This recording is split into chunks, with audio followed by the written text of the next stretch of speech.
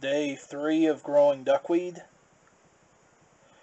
On day 1 I counted approximately 21 leaves. Today I've counted 22, but it's possible I might have missed one. Well, anyway, I've been giving the duckweed about 8 hours a day of light, and I've been using used aquarium water from my Bettas aquarium. See you on the next filming day.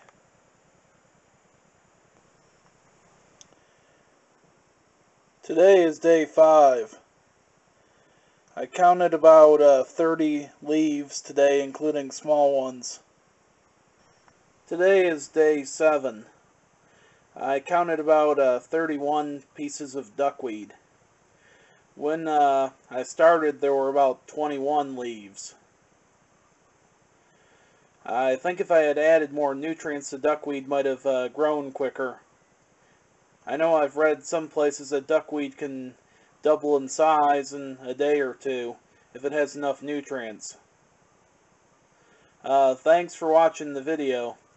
If you would like me to see if I can get this little bit of duckweed to grow enough to fill a, a huge container, uh, please leave a comment.